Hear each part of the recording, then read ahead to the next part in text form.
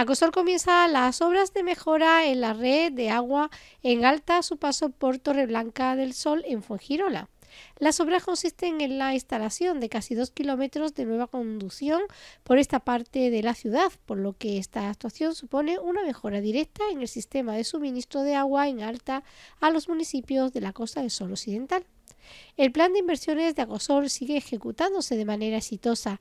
Ahora es el turno de las obras para la mejora del abastecimiento en la alta a la costa del Sol Occidental a su paso por la urbanización Torre Blanca del Sol en la TM de Fuengirola, que ha dado comienzo hoy y que han estado presentes la presidenta de la Mancomunidad de la Costa del Sol Occidental y de Acosol Margarita del Sí, la alcaldesa de Fuengirola Ana Mula, el consejero delegado de Acosol Manuel Cardeña y representantes de la empresa adjudicataria de la obra UTE. Bueno, en primer lugar, a mí me gustaría eh, darle las gracias a la alcaldesa de Fuengirola eh, para que nos haya eh, invitado a, dar el pistoletazo de salida en su municipio de una obra importante, importante para Fuengirola, para los Pacos, para Torreblanca, pero evidentemente es importante para toda la Costa del Sol. Y les voy a explicar brevemente por qué es así. Eh, hace unos meses, eh, Ana, eh, Manolo y yo presentábamos en, Fuengirola, en el ayuntamiento, en la sala de prensa, lo que iba a ser este proyecto, un proyecto que yo creo que se ocupa de lo importante, que es cambiar, cambiar el abastecimiento de la Costa del Sol, dar acceso a unas nuevas infraestructuras que no solo va a favorecer a Fuengirola, sino también eh, al resto de la costa. Este es eh, el inicio de una gran obra que está proyectada para toda la Costa del Sol y que va a mejorar eh, el abastecimiento en alta. Y en, esa, y en esa presentación les anunciábamos que además se iba a transformar una parte importante del municipio, que es toda esta, toda esta zona. Hoy eso comienza a ser realidad y como verán, no solo se trata de sustituir esa tubería, una tubería por una mucho más moderna, con mucha más capacidad, una tubería de acero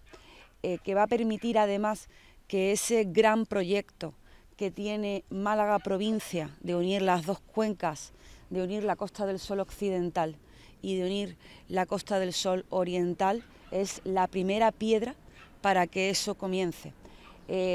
No saben la satisfacción que es después de siete años trabajando en un proyecto así. Han estado conmigo en todo momento, lo que supone para la mancomunidad de la Costa del Sol, para COSOL, que hoy iniciemos eh, a caminar en este proyecto que entendemos que además, por la apuesta firme que tiene la Junta de Andalucía, se va a convertir en una realidad, porque ahora sí que es verdad que hay un apoyo decidido de la Administración autonómica a unir las dos cuencas y de que Málaga no vuelva a tener esos problemas que tenía eh, de desabastecimiento en épocas puntuales. Así que una actuación que va a transformar la zona en la superficie, pero que sin duda es el inicio de algo muy importante eh, en lo que no se va a ver y que yo creo que qué mejor sitio para empezar con ese gran proyecto que el municipio de Fuengirola. Muchas gracias, Ana. Bueno, pues buenos días a todos, gracias por acompañarnos. Que vengan a hacer una inversión de 2.800.000 euros más el IVA, estamos hablando de más de 3 millones de euros, y que encima nos den las gracias, no estamos acostumbrados, no estamos acostumbrados. Yo creo que al contrario, ¿no? Es, es verdad lo que ha dicho la presidenta, es una inversión que pasa por Fuengirola, que los 3 millones y pico de euros se dejan en la ciudad, pero es una inversión que beneficia o favorece a toda la Costa del Sol. Por tanto, es una inversión para todos, para todos los vecinos de Fuengirola, de Torremolino, de Benalmádena, de Mijas, de todos. Por tanto, es una inversión importantísima. Desde el minuto uno, sabe la presidenta y el, el gerente de Acosol que han contado con mi apoyo absoluto, a pesar de que van a ser unas obras complicadas vamos a levantar una parte importante de la urbanización para meter una tubería importante para, para garantizar ese suministro de agua. Pero además también vamos a mejorar las condiciones de vida de los vecinos de Torreblanca, que ahora mismo tienen una servidumbre casi por mitad de sus casas de una tubería eh, importante que si algún día hay un problema puede ser grave para ellos. Por tanto, vamos a desviar toda esa tubería, pero aparte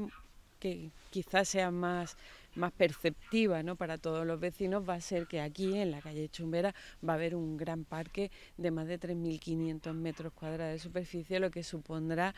el sexto parque ejecutado en esta legislatura en Torreblanca que como sabéis para nosotros es una prioridad la urbanización y por tanto vamos toda esta actuación está pensada para mejorar la calidad de vida, en este caso de los vecinos de Torreblanca, pero por supuesto de los vecinos de la Costa del Sol. Así que las gracias las damos nosotros, Presidenta, porque bueno, es verdad que esa colaboración administrativa entre administraciones